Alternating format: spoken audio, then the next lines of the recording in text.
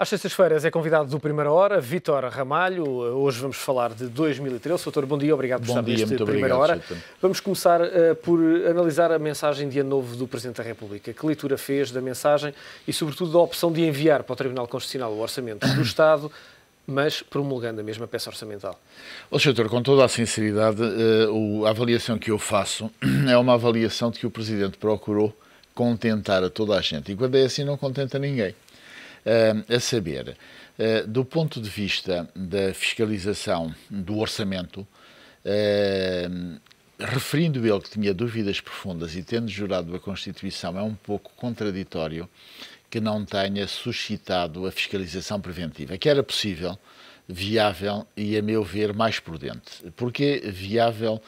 Porque, mesmo em termos de prazo, o professor Jorge Miranda já havia sublinhado que isso era possível uh, apesar do curto prazo que tinha, uh, e em termos de prudência, porque uh, na hipótese sustentada pela maioria dos constitucionalistas que há de facto preceitos inconstitucionais e constitucionalistas de todos os quadrantes políticos, abrir-se-á, a meu ver, inevitavelmente, uma crise política que ele procurou dizer que queria anular. Evitar. Portanto, também aqui é o evitar. Há também uma contradição. E porquê que se abrirá uma crise política?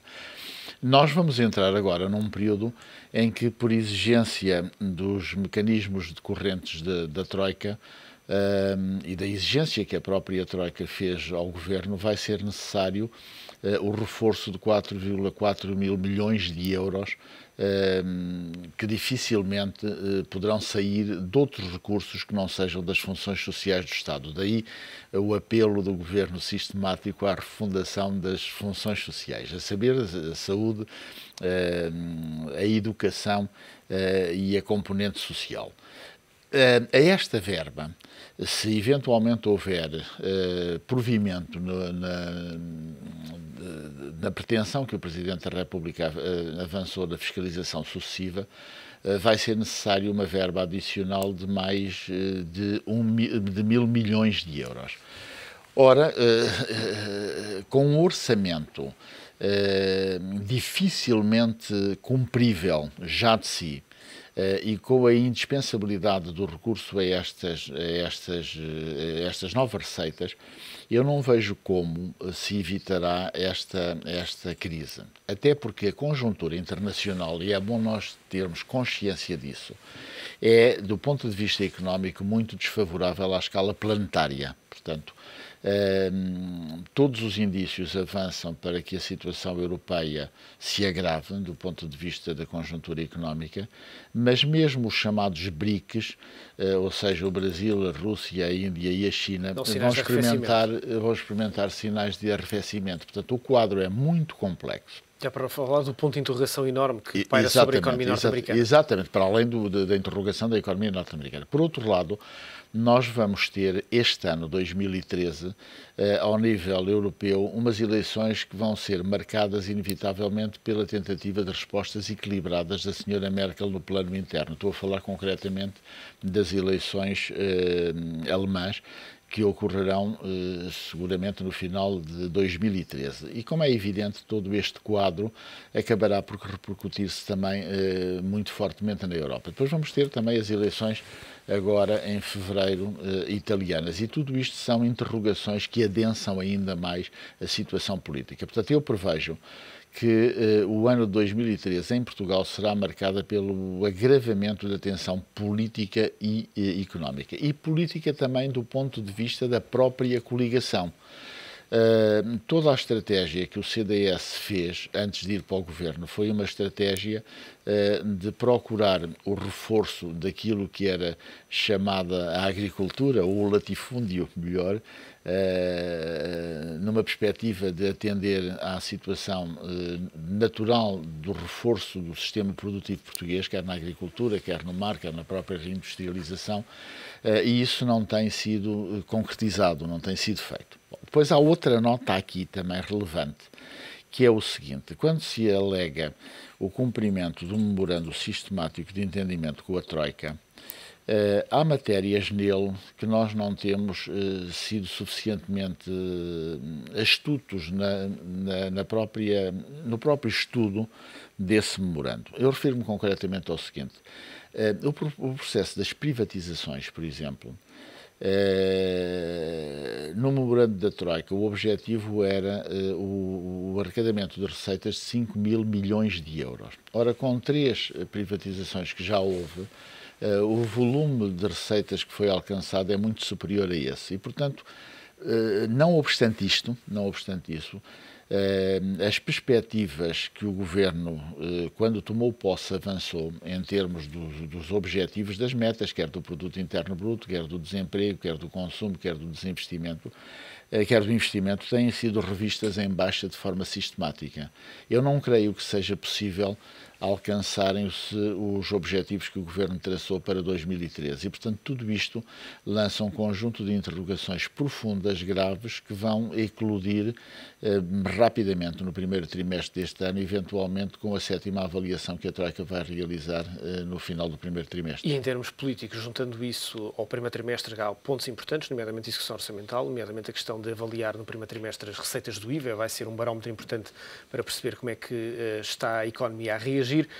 O que é que poderá acontecer? Eleições antecipadas, um afastamento do CDS uh, daquilo que é uh, uma postura relativamente de apoio ao governo, mas com uh, pontos intermitentes de discursos oh, eu, eu, não sou, eu não sou futurólogo nem bruxo, mas é perspectivável que com este agravamento da situação política e social, aliás, a intersindical, por efeito do que estou a referir, já anunciou uma jornada chamada de luta, como eles sempre fazem, no dia 16 de fevereiro, isto pronuncia também a avaliação que eles próprios fazem quanto ao, ao agravamento da situação social, que é um dado relativamente ao desemprego. Mas para não fugir à sua pergunta concretamente, o que é que eu acho uh, que carece de respostas? Nós estamos num mundo inteiramente novo, inteiramente novo. A avaliação da realidade não pode ser mais feita uh, em relação a um passado que morreu de todo. Morreu de todo. E nós persistimos em não ver que tem que haver novas respostas para novos desafios. Eu, por exemplo, uh, quando foi das últimas eleições em que o engenheiro Sócrates ganhou uh, as eleições, eh, mas embora numa, numa situação, como é sabido, de maioria relativa, eu sustentei muito a indispensabilidade nessa altura ser feita eh, uma coligação com o PSD. Eh, isso não foi possível, o próprio PS não respondeu a esta matéria como eu acho que era exigível, e neste momento eh, em que a ruptura social e, e, política, inclusivamente no plano internacional com, com o agravamento, exige respostas de tipo novo, quando o Presidente anuncia que quer estabilidade, ele, o que é que ele está a dizer? Que não quer eleições. E aí eu acho que ele tem razão.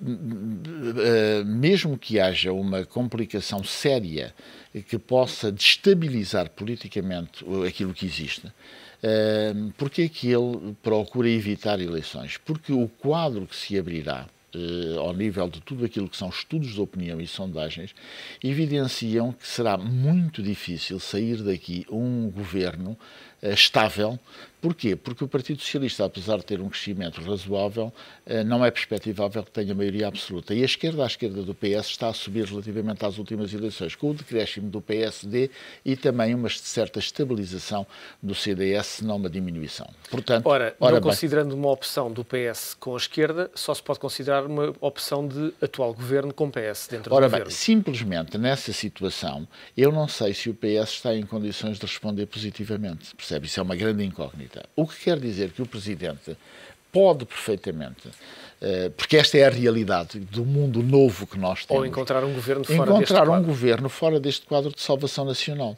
Eh, porque Permita-me real... a analogia, uma espécie de mar e monte à português. Sim, ouça, quer dizer, eh, tudo se encaminha para isso, porque o próprio discurso dele, como eu referi, procurando contentar gregos e troianos, não dando uma saída clara que os portugueses possam perspectivar que há uma linha de rumo agora uh, coerente do, do Presidente, ele esteve muito tempo calado, Uh, ao fazer o discurso de contentar gregos e troianos, mas referindo uh, que, é, que sustenta a estabilidade, evitando assim processos eleitorais prematuros, no entendimento dele, eu não vejo como, com o agudizar da situação, se escapará a este quadro. Dificilmente se escapará a este quadro. o ponto de ruptura pode dar-se com a decisão do Tribunal Constitucional relativamente ao pode, do Estado? Pode, pode, pode por uma razão. Vamos lá ver. Se o, se o Tribunal Constitucional. Vamos, vamos fazer uma análise política rigorosa. Se o Tribunal Constitucional considerar improcedente o pedido do Presidente da República, Obviamente o Presidente fica numa situação delicada, como é óbvio. E que conclusões é que deve tirar? Bom, o Presidente da República não pode deixar de tirar conclusões uh, fustigado pela própria opinião pública e pela própria pressão dos acontecimentos. Portanto, uh, uh, e a esse nível abrir-se-á uma crise, inclusivamente com ele próprio no centro de, de, da questão. É por isso que ele fez mal é não requerer a fiscalização preventiva.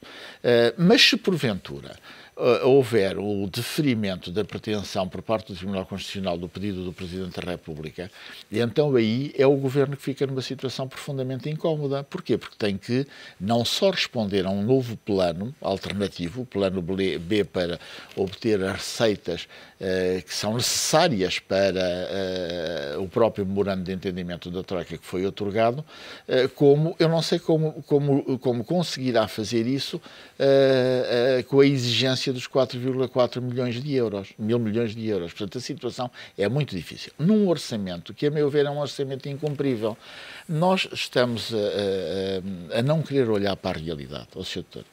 Uh, um copo é um copo e nós não podemos converter um copo numa garrafa. Eu quero dizer com isto uma coisa muito simples. Uh, por mais voltas que se deem, nós estamos numa encruzilhada impossível de ser cumprida a prazo. Não apenas porque uh, o financiamento que foi, que foi feito, nós não temos recursos bastantes para o poder regularizar no, no, prazo estipulado. Não é possível isso, de todo, não é possível. O que significará a inevitabilidade uh, de, de, de, revermos o próprio memorando de entendimento, uh, como muitos partidos estão a, a, conduzir, ou então a cegueira pode ser tal que o agudizar da situação nos leve a uma crise profundíssima, como eu penso que é inevitável. Aliás, todos os analistas lúcidos começam a concluir isso. Doutor, vamos ter certamente um ano difícil pela frente, mas vamos poder contar com os seus sempre lúcidos comentários. Deixa-me desejar-lhe um bom muito, ano. Obrigado pela sua presença neste primeira hora.